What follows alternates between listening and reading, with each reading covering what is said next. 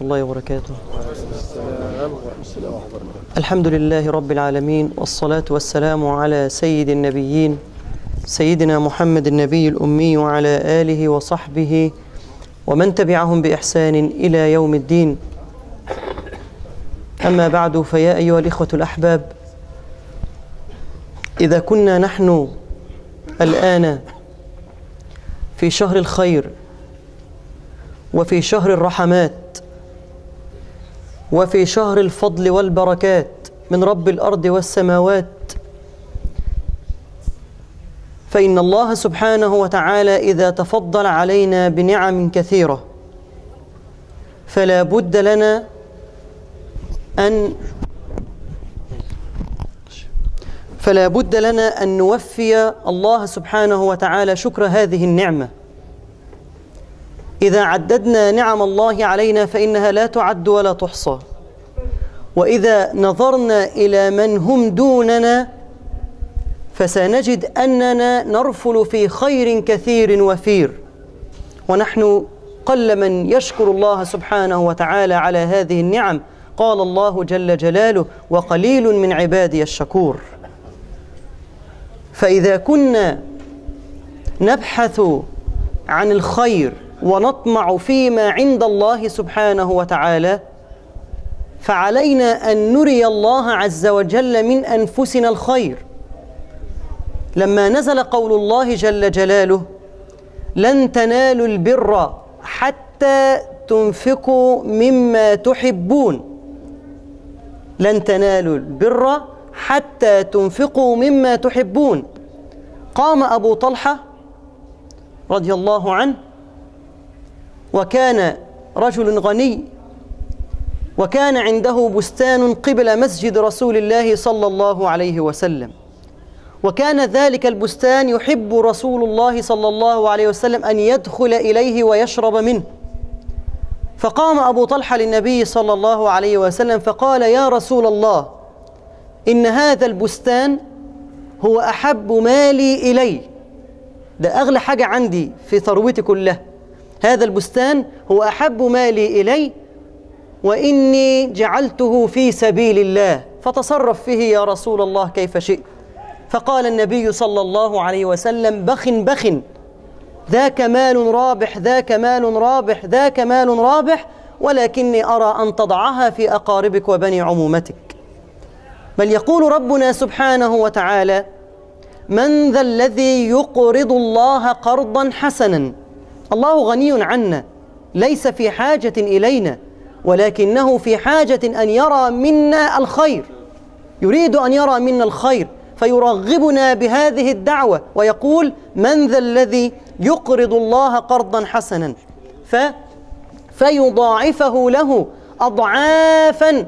ضعفا واحدا؟ لا يضاعف تفضل تفضل. فيضاعفه له أضعافا كثيرة. بل يحثنا على الإنفاق والتصدق في سبيل الله سبحانه وتعالى لأن دين الإسلام وشريعة الإسلام هو دين رحمة ودين تكافل فخير الناس أنفعهم للناس. خير الناس وأحب الناس إلى الله سبحانه وتعالى أنفعهم للناس.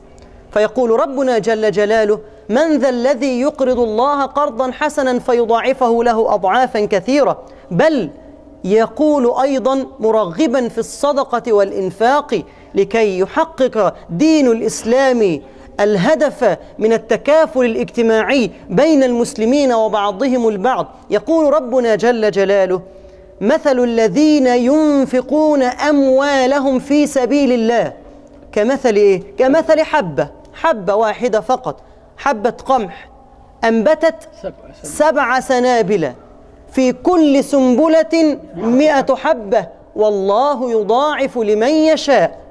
من نعم الله سبحانه وتعالى علينا أنه يضاعف لنا الحسنات دون السيئات.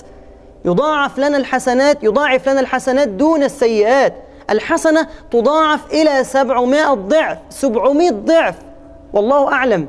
من من يعلم أن هذه السبعمائة ربما تكون سبعمائة مليون عند الله سبحانه وتعالى. إن أحدكم كما يقول النبي صلى الله عليه وسلم إن أحدكم يتصدق إن أحدكم إذا تصدق إذا تصدق الواحد منا فإن الله سبحانه وتعالى يتقبل الصدقة بيمينه فيربيها له كما يربي أحدكم فلوة يعني كما يربي أحدكم مهرة أو فصيلة. الصدقة التي تنفقها أنت الآن وأنت لا تعلم ربما هذه الصدقة هي التي يغفر لك بها عند الله سبحانه وتعالى. نحن لا ندري بأي عمل سيغفر لنا بأي عمل سنقبل عند الله سبحانه وتعالى. ما عندكم ينفد وما عند الله باق. بل يقول النبي صلى الله عليه وسلم يقول ابن آدم مالي مالي وهل لك من مالك إلا ما أكلت فأفنيت؟ أو لبست فأبليت أو تصدقت فأبقيت.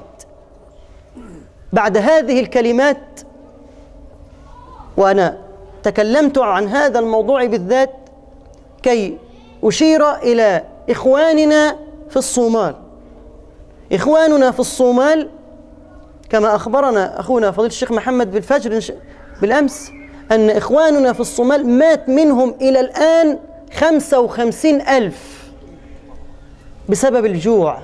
خمسة وخمسين ألف ماتوا جوعة. بل النهاردة في الأخبار في واحد مذيع في أخ مذيع في, في الأخبار بينقل بيقول إن إحنا وإحنا بنوزع الأكل على على الناس الأطفال نسيوا إزاي يأكلوا ويشربوا.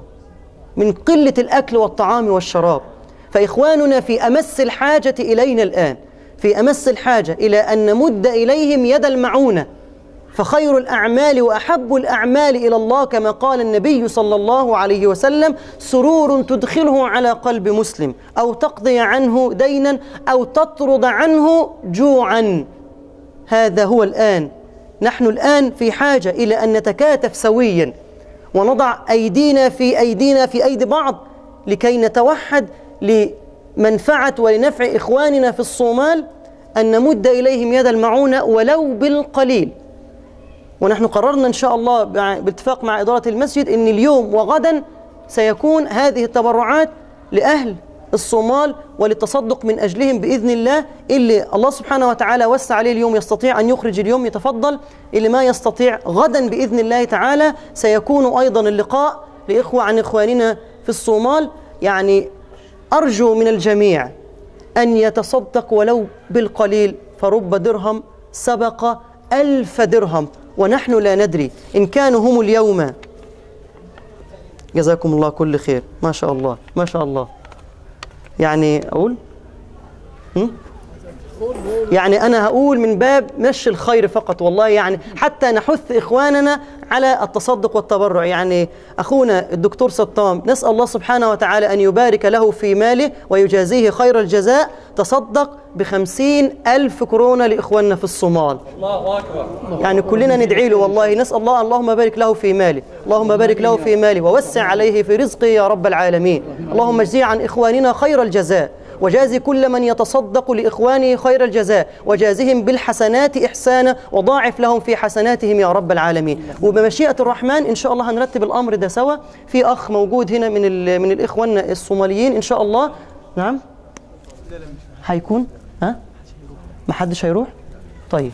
عموما إن شاء الله يعني الأمر هيترتب بإذن الله تعالى وسيصل الخير لمستحقيه. إن شاء الله تعالى نسأل الله سبحانه وتعالى أن يجعلنا جميعا عونا على الخير. إنه ولي ذلك ومولاه. أقول قولي هذا وأستغفر الله لي ولكم.